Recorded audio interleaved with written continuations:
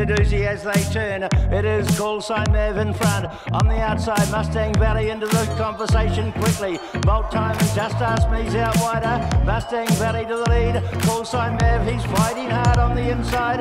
Malt Time's trying to chop them back as well. Mustang Valley. Malt Time on the outside coming quickly. It's Mustang Valley in front and she's too good again.